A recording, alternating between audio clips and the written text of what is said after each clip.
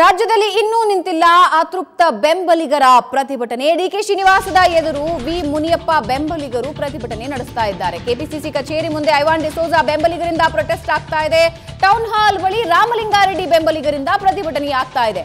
KPCC ಕಚೇರಿಯ ಮುಂಭಾಗದಲ್ಲಿ ಮೊನ್ನೆಯಷ್ಟೇ ನಡೆದಂತಹ ಹೈಡ್ರಾಮಾ ನಾವೆಲ್ಲ ನೋಡಿದ್ದೀವಿ. ಅದೇ ರೀತಿಯಾದಂತಹ ಸನ್ನಿವೇಶ ಇವತ್ತು ಕೂಡ ಮುಂದುವರೆದಿದೆ. ರಾಜ್ಯದಲ್ಲಿ ಇನ್ನೂ ಅತೃಪ್ತರ ಬೆಂಬಲಿಗರೇನಿದ್ದಾರೆ? ಅವರ ಪ್ರತಿಭಟನೆ ನಿಲ್ತಾ ಇಲ್ಲ. ಡಿ ಕೆ ಶ್ರೀನಿವಾಸದ ಎದುರು ವಿ ಮುನಿಯಪ್ಪ ಅವರ ಬೆಂಬಲಿಗರು ಪ್ರತಿಭಟನಿಸ್ತಾ ಇದ್ರೆ ಮತ್ತೊಂದು ಕಡೆ ಕೆಪಿಸಿಸಿ ಕಚೇರಿಯ ಮುಂದೆ ಐವಾನ್ ಡಿಸೋಜಾ ಬೆಂಬಲಿಗರಿಂದ ಪ್ರೊಟೆಸ್ಟ್ ಆಗ್ತಿದೆ. ಟೌನ್ ಹಾಲ್ ಬಳಿ ರಾಮಲಿಂಗಾರೆಡ್ಡಿ ಬೆಂಬಲಿಗರಿಂದ ಪ್ರತಿಭಟನೆ ನಡೀತಾ ಇದೆ.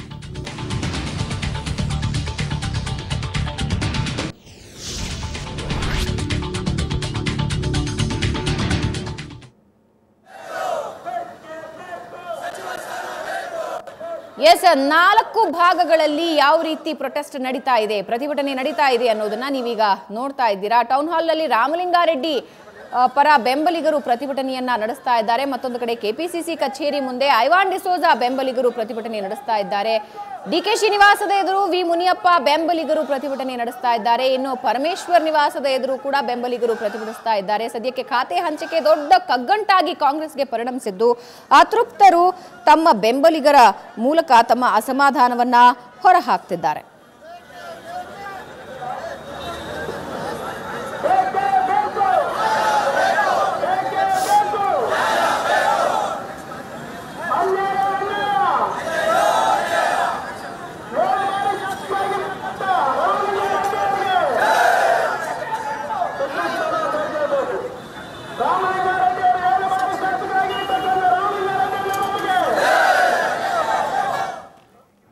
ಎಸ್ ಈ ಬಗ್ಗೆ ಇನ್ನಷ್ಟು ಡೀಟೇಲ್ಸ್ ಅನ್ನ ನೀಡೋದಕ್ಕೆ ನೇರ ಸಂಪರ್ಕದಲ್ಲಿದ್ದಾರೆ ನಮ್ಮ ಪ್ರತಿನಿಧಿ ಆನಂದ್ ಪಿ. ಬೈದನ್ ಮನೆ. ಆನಂದ್, ನಿರಂತರವಾಗಿ ಬೆಂಬಲಿಗರ ಮೂಲಕ ತಮ್ಮ ಅಸಮಾಧಾನವನ್ನ ಶಾಸಕರು ವ್ಯಕ್ತಪಡಿಸ್ತಾ ಇರುವಂತಹದ್ದು. ಇವತ್ತು ಕೂಡ ಪರಿಸ್ಥಿತಿ ಭಿನ್ನವಾಗೇನೂ ಇಲ್ಲ. ಯಾವ ರೀತಿ ಈ ಬಿಸಿ ಕಾಂಗ್ರೆಸ್ಗೆ ತಡ್ತಾ ಇದೆ?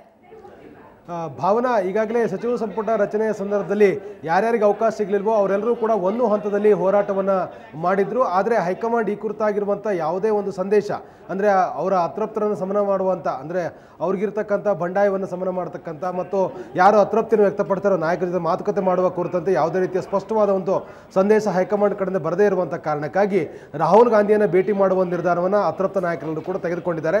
ಇದರ ಬೆನ್ನಲ್ಲೇ ಎರಡೇ ಬಾರಿಯ ಸಚಿವ ಸಂಪುಟದಲ್ಲಾದರೂ ಕೂಡ ಅವಕಾಶ ಸಿಗಲೇಬೇಕು ಅನ್ನೋ ಕಾರಣಕ್ಕಾಗಿ ಜಾತಿ ಲೆಕ್ಕಾಚಾರದ ಆಧಾರದ ಮೇಲೆ, ಪಕ್ಷಕ್ಕೆ ಸಲ್ಲಿಸಿರುವಂಥ ಸೇವೆ ಆಧಾರದ ಮೇಲೆ ಮತ್ತು ಪ್ರಾಂತ್ಯವಾರು ಇವೆಲ್ಲವನ್ನು ಕೂಡ ದೃಷ್ಟಿಯಲ್ಲಿಟ್ಟುಕೊಂಡು ಬೆಂಬಲಿಗರು ಪ್ರತಿಭಟನೆ ಮಾಡೋದ್ರ ಮೂಲಕ ತಮ್ಮ ನಾಯಕರಿಗೆ ಸಚಿವ ಸ್ಥಾನ ಕೊಡಿಸುವಂಥ ಪ್ರಯತ್ನವನ್ನು ಮಾಡ್ತಾ ಇದ್ದಾರೆ. ಬಹುತೇಕ ಎಲ್ಲ ಸಚಿವ ಸ್ಥಾನದ ಆಕಾಂಕ್ಷಿಗಳೆಲ್ಲರೂ ಕೂಡ ಯಾವ ಪ್ರಮುಖ ನಾಯಕರ ಮನೆ ಮುಂದೆಗಡೆ ಪ್ರತಿಭಟನೆ ಮಾಡ್ತಕ್ಕಂಥದ್ದು, ಕಾಂಗ್ರೆಸ್ ಕಚೇರಿಯ ಮುಂದೆ ಪ್ರತಿಭಟನೆ ಮಾಡ್ತಕ್ಕಂಥದ್ದು ಮುಂದುವರೆದಿದೆ. ಅದರಲ್ಲೂ ಪ್ರಮುಖವಾಗಿ ಕಾಂಗ್ರೆಸ್ನ ಬಹುತೇಕ ಎಲ್ಲ ನಾಯಕರು ಕೂಡ ಈಗಾಗಲೇ ತಮ್ಮ ಬೆಂಬಲಿಗರ ಮೂಲಕ ನಾಯಕರ ಮನೆಗಳ ಮುಂದೆ ಪ್ರತಿಭಟನೆ ಮಾಡಿಸ್ತಾ ಇದ್ದಾರೆ. ಬೆಳಿಗ್ಗೆ ಮುನಿಯಪ್ಪ ಅವರ ಬೆಂಬಲಿಗರು ಬಂದು ಇವತ್ತು ಪ್ರತಿಭಟನೆ ಮಾಡೋದ್ರ ಮೂಲಕ ಹಿಂದೆ ಸಚಿವರಾಗಿದ್ದಂಥ ಮುನಿಯಪ್ಪ ಅವರಿಗೆ ಶಿಡ್ಲಘಟ್ಟ ಶಾಸಕರಾಗಿರುವಂಥ ಮುನಿಯಪ್ಪ ಅವಕಾಶವನ್ನು ಕೊಡಬೇಕು ಅನ್ನುವಂಥ ಕಾರಣಕ್ಕಾಗಿ ಪರಮೇಶ್ವರ ಮನೆ ಮುಂದೆ ಪ್ರತಿಭಟನೆಯನ್ನು ಮಾಡಿದ್ರು. ಮತ್ತು ಡಿ ಕೆ ಶಿವಕುಮಾರ್ ಕೂಡ ಮುತ್ತಿಗೆಯನ್ನು ಹಾಕಿದ್ರು. ಇನ್ನೊಂದೆಡೆ ಕ್ರೈಸ್ತ ಸಮುದಾಯಕ್ಕೆ ಸೇರಿರ್ತಕ್ಕಂಥ ಪ್ರಭಾವಿ ನಾಯಕರಾಗಿ ವಿಧಾನ ಪರಿಷತ್ ಸದಸ್ಯರಾಗಿರುವಂಥ ಐವನ್ ಡಿಸೋಜರಿಗೂ ಕೂಡ ಅವಕಾಶ ನೀಡಬೇಕು ಅನ್ನುವಂಥ ಕಾರಣಕ್ಕಾಗಿ ಇವತ್ತು ಪರಮೇಶ್ವರ ನಿವಾಸದ ಮುಂದೆ ಕೆ ಕಚೇರಿ ಮುಂದೆ ಪ್ರತಿಭಟನೆ ಮಾಡಿರುವಂಥ ಐವನ್ ಡಿಸೋಜ ಬೆಂಬಲಿಗರೆಲ್ಲರೂ ಕೂಡ ಸೂಕ್ತವಾದ ಅವಕಾಶ ಕೊಡಬೇಕು ಅಂತಕ್ಕಂಥ ಪಟ್ಟನೆ ಹಿಡಿದಿದ್ದಾರೆ. ಸೊ ಇದ್ರ ಜೊತೆಗೆ ಇನ್ನೂ ರಾಮಲಿಂಗಾರೆಡ್ಡಿ ಅವರಿಗೂ ಕೂಡ ಅವಕಾಶ ಕೊಡಬೇಕು. ರೆಡ್ಡಿ ಸಮುದಾಯದ ಅತ್ಯಂತ ಪ್ರಭಾವಿ ನಾಯಕರಾಗಿರುವಂಥ ರಾಮಲಿಂಗಾರೆಡ್ಡಿ ಅವರು ಕೂಡ ಸಚಿವ ಸಂಪುಟದ ಅವಕಾಶ ಕೊಡುವಂತೆ ಒತ್ತಾಯಿಸಿ ಟೌನ್ ಹಾಲ್ ಮುಂದೆ ಪ್ರತಿಭಟನೆ ನಡೀತಾ ಇದೆ. ಸೊ ಅಂದರೆ ಬೇರೆ ಬೇರೆ ಕಡೆ ಕೂಡ ಕಾಂಗ್ರೆಸ್ ಕಚೇರಿ ಇರ್ಬೋದು, ಟೌನ್ ಹಾಲ್ ಇರ್ಬೋದು, ಪರಮೇಶ್ವರ್ ನಿವಾಸ ಇರ್ಬೋದು, ಡಿ ಕೆ ಶಿವಕುಮಾರ್ ನಿವಾಸ ಇರ್ಬೋದು, ಹೀಗೆ ಯಾರ್ಯಾರು ಪ್ರಭಾವಿ ನಾಯಕರ ಮನೆ ಇದೆಯೋ ಮತ್ತು ಪ್ರಮುಖವಾದ ಸ್ಥಳಗಳಲ್ಲಿ ಪ್ರತಿಭಟನೆ ಮಾಡೋದ್ರ ಮೂಲಕ ತಮ್ಮ ನಾಯಕರಿಗೆ ಸಚಿವ ಸ್ಥಾನ ಕೊಡಬೇಕು ಅಂತೇಳಿ ಬೆಂಬಲಿಗರು ಒತ್ತಾಯವನ್ನು ಮಾಡ್ತಾ ಇದ್ದಾರೆ. ಮತ್ತು ಕಾಂಗ್ರೆಸ್ ಕಚೇರಿ ಮುಂದೆ ನಿರಂತರವಾದ ಪ್ರತಿಭಟನೆಗಳು ಮುಂದುವರಿತಾ ಇದ್ದು ದಿನವಿಡಿಯೂ ಕೂಡ ಸಚಿವ ಸಂಪುಟ ರಚನೆ ಆದಾಗಲೂ ಕೂಡ ನಿರಂತರವಾಗಿ ಪ್ರತಿಭಟನೆಗಳು ಆಗ್ತಾ ಇದೆ. ಹಾಗಾಗಿ ಎಲ್ಲೋ ನಿನ್ನೆ ಶಾಂತಿನಗರದ ಹ್ಯಾರಿಸ್ ಅವರ ಬೆಂಬಲಿಗರು ಪ್ರತಿಭಟನೆ ಮಾಡಿದ್ರೆ, ಮೊನ್ನೆ ರಘುಮೂರ್ತಿ ಅವರ ಬೆಂಬಲಿಗರು ಪ್ರತಿಭಟನೆ ಮಾಡಿದ್ರು. ಸಾವಿರಾರು ಸಂಖ್ಯೆಯಲ್ಲಿ ಅಭಿಮಾನಿಗಳು, ಕಾರ್ಯಕರ್ತರು ಬಂದು ಕಾಂಗ್ರೆಸ್ ಕಚೇರಿ ಮುಂದೆ ಪ್ರತಿಭಟನೆ ಮಾಡ್ತಕ್ಕಂಥದ್ದು, ತಮ್ಮ ನಾಯಕನಿಗೆ ಅವಕಾಶವನ್ನು ಕೊಡಬೇಕು ಅನ್ನುವಂಥ ಆಗ್ರಹವನ್ನು ಮುಂದಿಡ್ತಕ್ಕಂಥದ್ದು, ಇದು ನಿರಂತರವಾಗಿ ಮುಂದುವರೆದಿದೆ. ಇಷ್ಟರ ಮಧ್ಯೆಯೂ ಕೂಡ ಕಾಂಗ್ರೆಸ್ ಹೈಕಮಾಂಡ್ ಎರಡನೇ ಸುತ್ತಲ್ಲಿ ಯಾರ್ಯಾರಿಗೆ ಅವಕಾಶ ಕೊಡುತ್ತೆ ಅನ್ನೋದ್ರ ಬಗ್ಗೆ ಇನ್ನೂ ಕೂಡ ಸ್ಪಷ್ಟವಾದ ಮಾಹಿತಿಯನ್ನು ಕೊಟ್ಟಿಲ್ಲ. ಇಷ್ಟ ಅಷ್ಟಾದರೂ ಕೂಡ ವರಿಷ್ಠರ ಮೇಲೆ ಒತ್ತಡ ಹೇರುವಂಥ ಪ್ರಯತ್ನವನ್ನು ಮುಂದುವರಿಸ್ತಾ ಇದ್ದು, ಇನ್ನೊಂದೆಡೆ ಎಂ ಬಿ ಪಾಟೀಲ್ ಕೂಡ ಈಗಾಗಲೇ ದೆಹಲಿಗೆ ತೆರಳಿದ್ದು, ದೆಹಲಿಯಲ್ಲೂ ಕೂಡ ರಾಹುಲ್ ಗಾಂಧಿ ಅವರ ಭೇಟಿಯನ್ನು ಮಾಡಿದ್ದಾರೆ. ಹಾಗಾಗಿ ಅಲ್ಲಿ ದಿನೇಶ್ ಗುಂಡೂರಾವ್ ಕೃಷ್ಣ ಬೈರೇಗೌಡರು ಸೇರಿದಾಗ ಪ್ರಮುಖ ನಾಯಕರು ಕೂಡ ದೆಹಲಿಯಲ್ಲಿದ್ದು, ರಾಹುಲ್ ಗಾಂಧಿ ಜೊತೆ ಮಾತಾಡುವಂಥ ಪ್ರಯತ್ನೆಯನ್ನು ಮುಂದುವರಿಸಿದ್ದಾರೆ. ಒಟ್ಟಲ್ಲಿ ಪಕ್ಷದಲ್ಲಿ ಉಂಟಾಗಿರುವಂಥ ಬಿಕ್ಕಟ್ಟನ್ನು ಸಮನ ಮಾಡುವ ನಿಟ್ಟಲ್ಲಿ ನಿರಂತರವಾಗಿರುವಂಥ ಪ್ರಯತ್ನಗಳು ಒಂದು ಕಡೆ ಮುಂದುವರಿತಾ ಇದ್ದಾರೆ ಇನ್ನೊಂದು ಕಡೆ ತಮ್ಮ ನಾಯಕನಿಗೆ ಅವಕಾಶ ಸಿಗಬೇಕು ಅನ್ನೋ ಕಾರಣಕ್ಕಾಗಿ ಬೆಂಬಲಿಗರು ಕೂಡ ಹೋರಾಟವನ್ನು ಮಾಡ್ತಾ ಇರತಕ್ಕಂಥದ್ದು ಕೂಡ ಮುಂದುವರಿದೆ ಹಾಗಾಗಿ ಇರುವಂಥ ಸಮಸ್ಯೆಯನ್ನು ಕಾಂಗ್ರೆಸ್ ಹೈಕಮಾಂಡ್ ಯಾವ ರೀತಿ ಪರಿಹಾರ ಮಾಡುತ್ತೆ ಅನ್ನೋದನ್ನ ಕಾದು ನೋಡಬೇಕಾಗಿದೆ ಭಾವನಾ. ಎಸ್ ಆನಂದ